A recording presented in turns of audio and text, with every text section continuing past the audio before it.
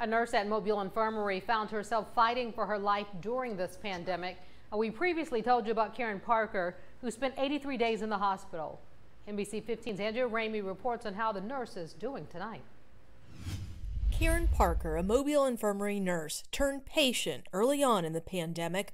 One week after she started running a fever, she was fighting to breathe and rushed to the ER.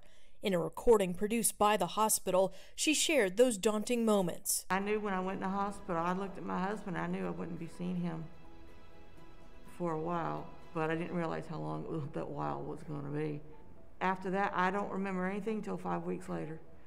And that's when my husband said, you know, I, w- I had been intubated three times, and then they ended up doing a trach on me. By her bedside, Dr. Adrian DiVittorio, who recorded a song for her to uplift her spirits. It was beautiful. It really was. That he would take that time to do that.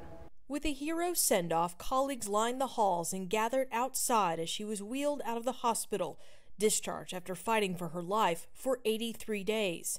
Everybody thinks they're invincible.